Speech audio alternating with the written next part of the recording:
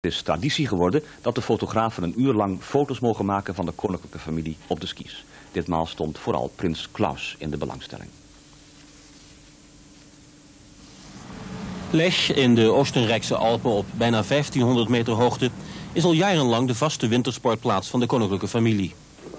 Hoewel de medische behandeling van prins Klaus in Basel nog niet is afgerond, mocht hij van de artsen wel naar Lech. En mocht hij zelfs de confrontatie aan vanmorgen met de fotopers.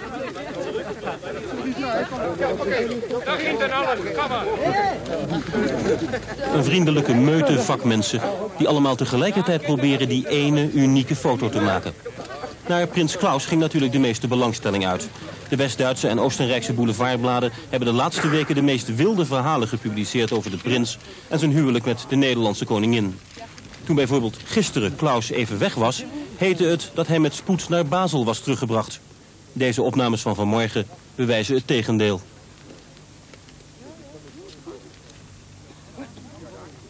Kroonprins Willem-Alexander liet het hele gebeuren met duidelijke routine over zich heen komen.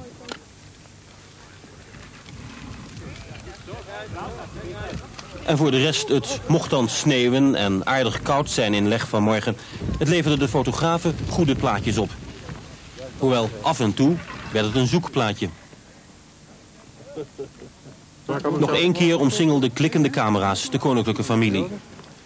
Koningin en prins en de kinderen zullen de komende dagen door de fotograferende pers verder met rust gelaten worden. Om vooral ook prins Klaus de kans te geven verder van een ongestoorde vakantie te genieten.